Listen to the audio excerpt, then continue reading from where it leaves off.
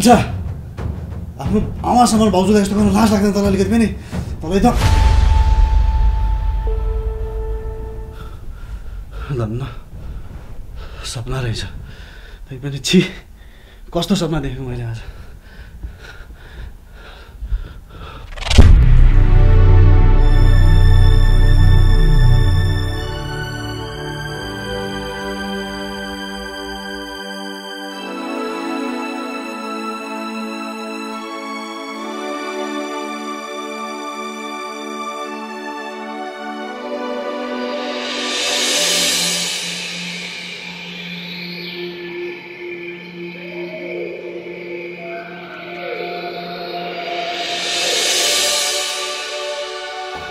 सीता सीता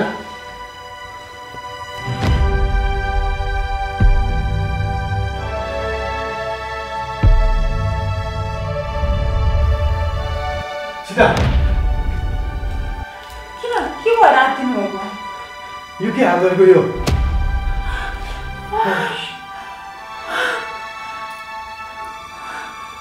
तिमी ठिक त सम्झ्यौ के हाल नानीको के सोचमा छ तिमी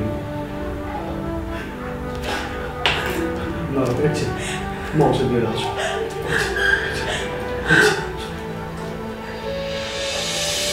प्लिज ड्याडी म हजुरको छोरीसँग छोडमा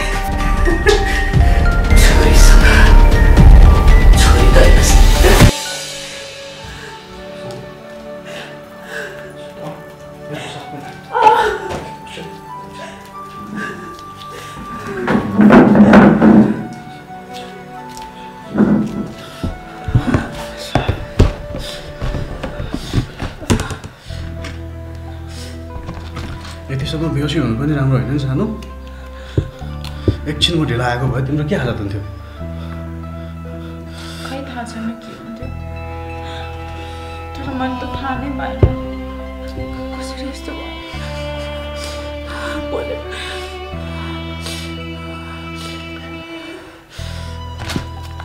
मलाई थाहा छ तिमी आजकल घरको परिस्थितिलाई लिएर धेरै टेन्सनमा हुन्छौ। तर पनि सबै बिस्तारै ठिक हुँदै जान्छ। म छु नि थाहा छ हजुर होइसिन्छ र त म छु म कसरी सुनाऊ हजुरलाई कि मलाई यो घरको परिस्थितिले भन्दा अरू नै परिस्थितिले गाँचेको छ भनेर ल भयो अब यत्रो हात काट्दासम्म थाहा हुँदैन मान्छेलाई बेहोसी हुनुको पनि सीमा हुन्छ नि सानो के भयो के लागेको केही भएको छैन? किन भन्छ? नि यत्रो भने केही सुनेनौ तिमीले? सुने नि। मलाई ब्रेकफास्ट तयार गर्नु छ। गएँ म। तिमीलाई खै के भएको छ सानो? त्यो मलाई नभनिकन कसरी थाहा हुन्छ र। तर पनि तिम्रो व्यवहार पुरै बदलिएको छ खै किन तिमीलाई केही समस्या भयो भन। म तिम्रो हरेक समस्याहरू एक मिनटमा समाधान खासमा एउटा समस्या छ। धेरै पटक हजुरलाई भन्ने कोसिस गरेँ तर केही न केही अवरोध आएर भन्नै पाएकी छैन। के कुरा हो? ल भन। आज कुनै अवरोध आउने छैन। त्यसो भए पहिला प्रमिस गर्छु कि यो कुरा सुनेपछि घरमा कुनै कलह गर्नुहुने छैन। अनि मलाई नै गलत सोध्नुहुन्न भनेर। सानो मैले तिमीलाई गलत सोच्ने कुरै आउँदैन। म आफूलाई भन्दा बढी तिमीलाई विश्वास गर्छु। र आई प्रमिस यो कुराले घरमा कलह हुने छैन। विश्वास गर मेरो। खासमा सानो ड्याडीले मलाई गलत नजरले हेर्नुहुन्छ। अनि व्यवहार पनि त्यस्तै त्यस्तै खालको गर्नुहुन्छ। अझ अस्ति कौसीमा लुगा सुकाउन जाँदा त मलाई समातेर नराम्रो वाट के भनेको सीता तिमीले यस्तो? बाउ समानको मान्छेमाथि तिमी यो के आरोप लगाउँदैछौ? थाहा छ तिमीलाई? थाहा छ। तर मेरो विश्वास गर्नुहोस् यो सत्य हो। हजुरलाई थाहै छ। मलाई झुट बोल्न आउँदैन।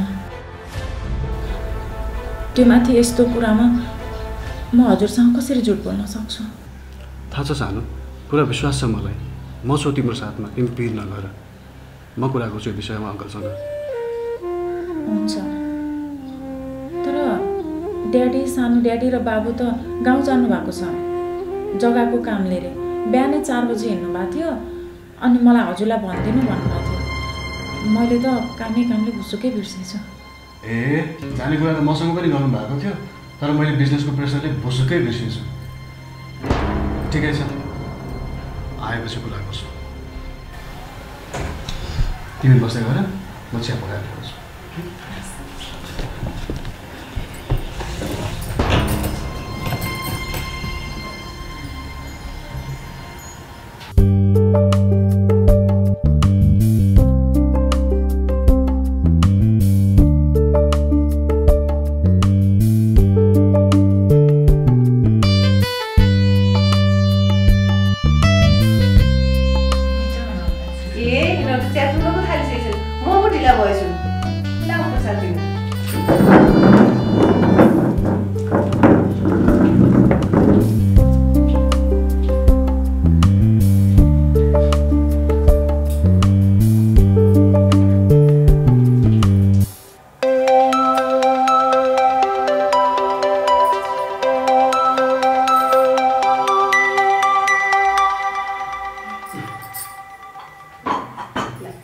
तिमीहरूलाई मेरो यो आशीर्वाद छ।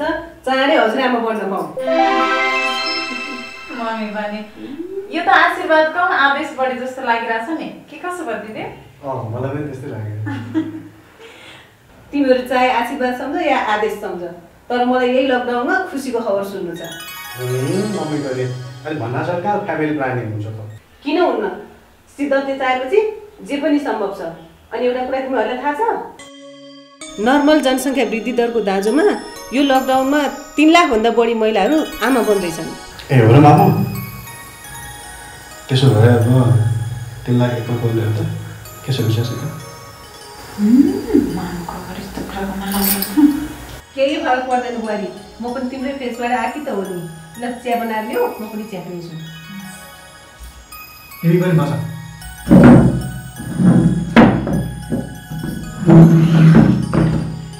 हेर्नु न मामु यो मान्छेको ध्यान कहाँ कहाँ हुन्छ खै खै खै। यत्रो हात काट्नु खानु पाउने गरी कहाँ छ तिम्रो ध्यान बुहारी के सोच्नु नि मामु खासमा अङ्क खासमा आज राति सपनामा मम्मीलाई देखाएको थिएँ अनि मम्मीको एकदम धेरै याद आइरहेको थियो त्यही भएर हात काटेको नै थाहा भएन हजुर जानु न चिया पकाउनु जानु भने होइन जानु न सीता तिमी यो घरमा खुसी त छौ नि होइन? खुसी मात्र होइन मामु। एकदमै धेरै खुसी छु। हजुरहरू जस्तो परिवार पाउनु त मेरो अभाग्य हो। धन्यवाद छ बुहारी। तिमी जस्तो बुहारी पाएर हामी पनि धन्य छौँ। तैपनि कहिलेकाहीँ अर्काकी छोरी ल्याएको छौँ। खुसी दिन सकेनौँ कि भन्ने पिर लाग्छ नि। आफ्नो छोरी छैनन्। छोरीको खुसी के हो भनेर बुझ्न सक्दैनौँ कि भनेर पिर लाग्छ नि। तैपनि त्यस्तो केही चित्त बुझेन भने भन है त्यस्तो भनेर मलाई पढाइ नबनाउनु मामु। म हजुरहरूकी बुहारी कम छोरी ज्यादा हो मलाई हजुरहरूले छोरी जस्तै माया दिनुभएको छ। आफ्नै आमा सम्झेर भन है। हस् न। म चिया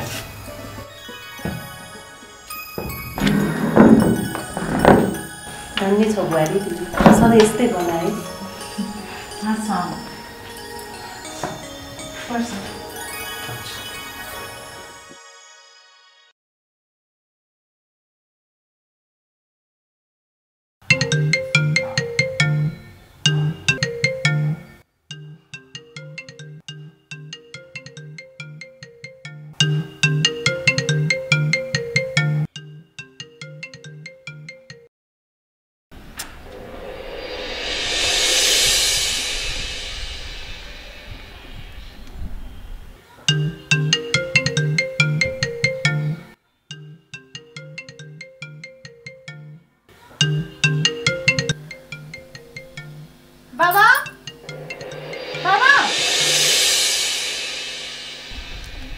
गाह्रो यो मोटर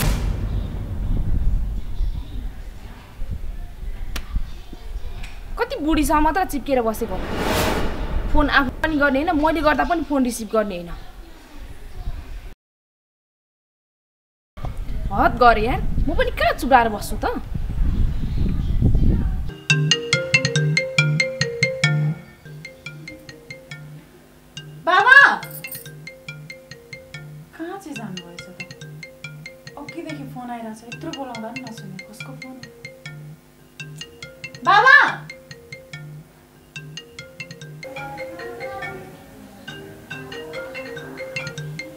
इमर्जेन्सी छ जस्तो छ। उठाइदिनु पर्यो। ल कहाँ गइसके? अघिदेखि कतिचोटि बोलाइसके? सात आठचोटि फोन आइसक्यो। के इमर्जेन्सी छ जस्तो छ? फोन गर्छ। यहाँ अफिसको साथीको फोन आएको रहेछ। म एकपल्ट बसेको गएर कुरा गरेर आउँछु है? ल यस्तो घाममा चाहिँ अब फोनमै कुरा गर्न चाहिँ कौशीमा किन जानु पर्यो? यहीँ बसेर कुरा गरे हुन्न अरे अलिक छाडा बोल्छ कि? पाँच मिनट बस्दै गर न म आइहाल्छु नि।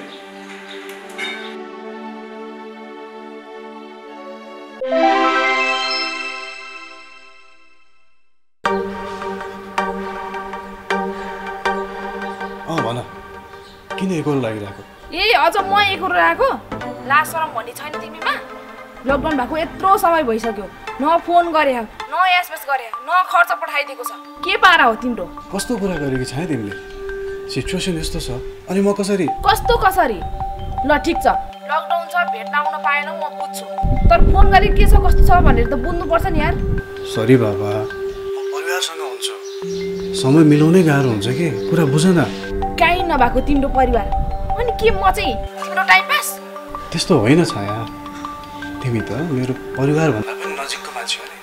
ल भो धेरै नाटक नगर। मलाई राम्रोसँग थाहा छ। म तिम्रो को हुँ भन्ने कुरा मलाई अरू कुरो केही पनि थाहा छैन। खुरुक्क पचास हजार मलाई लिएर आइदियो।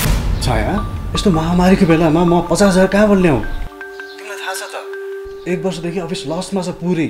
अरू कुरा थाहा छैन मलाई। जसरी हुन्छ भोलिसम्ममा पचास हजार चाहियो मलाई। यदि पचास हजार ल्याएन भने के गर्नुपर्छ मलाई राम्रोसँग थाहा छ।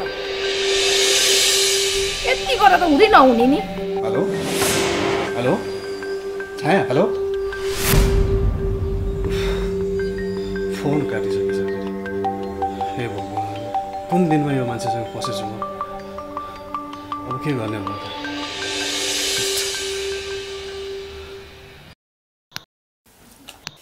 कति चिलाएको छ कि यो फुलेर होला? अँ मम्मी धेरै फुल्या छ नि। अब बुढी हुनुभएछ हजुरले। हम्म, तिमी पनि त भोलि बुढी हुन्छौ नि। त्यो त होला। यो लकडाउन खुलेपछि कालो हाल्नुपर्छ। ए हुन्छ मम्मी। खुल्ने बित्तिकै म ल्याएर कालो हालेर राम्ररी बनाइदिन्छु नि हजुरलाई। राम्री नराम्री सबै तिमीले त हो नि बनाउने अब। हस्। अनि कुरा भयो त साथीसँग? को साथीसँग? अनि के कुरा भने कि त? अफिसको साथीले फोन गरेको गरे होइसिन्थ्यो। अनि कुरा गर्न भनेर कौशीमा गइसक्यो त्यही भएर। अफिसको साथीले फोन गर्दा पनि कौसीमै जानुपर्ने चाहिँ किन रहेछ त? यहीँ कुरा गरे पनि भइहाल्थ्यो त। मैले नि त्यही भने कि खै जानु हो? भन्दै हुनुहुन्थ्यो साथीले अलिक नराम्रो शब्दहरू बोल्नुहुन्छ अरे भनेर। सायद त्यही भएर। ए त्यसो भए त ठिकै हो। नत्र अहिलेको लोग्नेहरूको आँखा चिम्लेर विश्वास चाहिँ गर्नु हुँदैन है सीता। पछि आफैले दुःख पाइन्छ फेरि। मतलब? मैले त कुरा बुझिनँ नि मामु। पछि बुझौँला। अहिले त्यसलाई के भएको? सोध जाउँ आउँछ।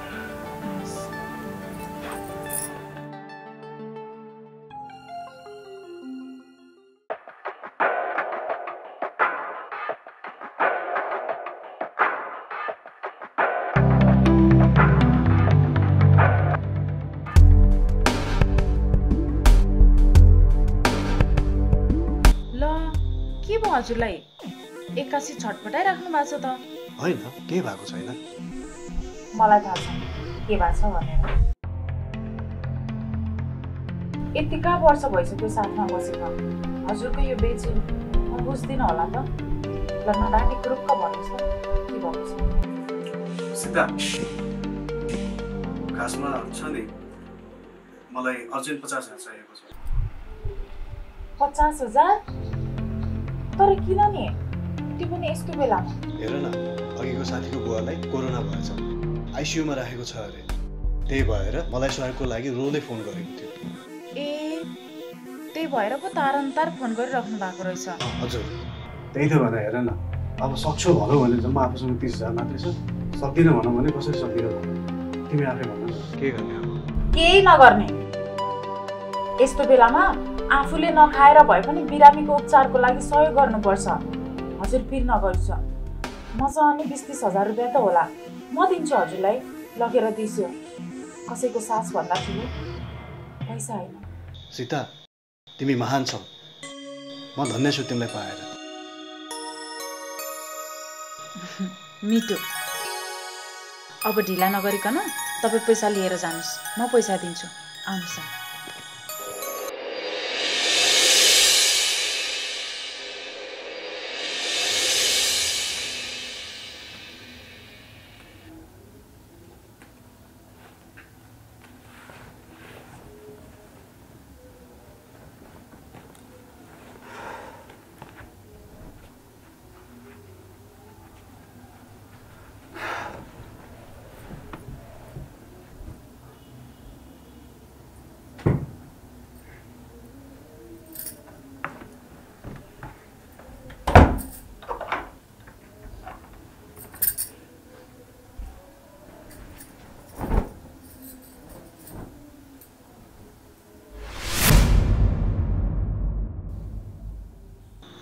मेरो लिपस्टिकको कलर त होइन यो। कतै अहिलेको लोग्नेहरूको आँखा चिम्लेर विश्वास चाहिँ गर्नु हुँदैन है सीता।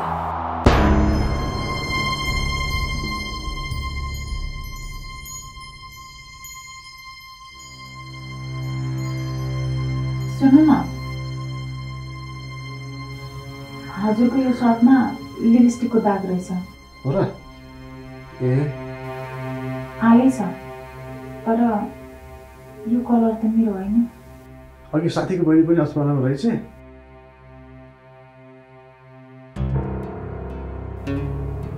यस्तो बेलामा सहयोग गरिदिएको भनेर अङ्गाल हालेर रुँदै थिएँ। सायद उसैको लाग्यो होला। ए म भोलि धोइदिन्छु।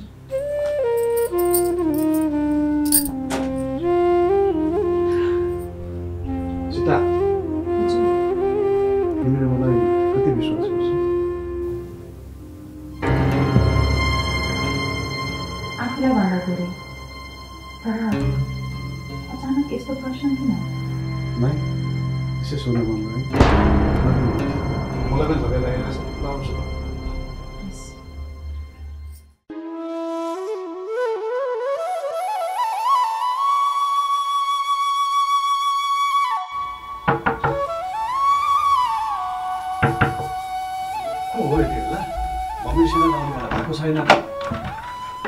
ओहो मिलन वाट अ सरप्राइज अचानक यार या त्यो पनि लकडाउनमा ढोकेमै बसेर पुलिसले चेकिङ गरी लिँदैछ यार मलाई कोरोना त भएको छैन नि। सरी यार बिर्से यार कस्तो भुल्लक्कर के म पनि? आइज बस् न अनि के छ?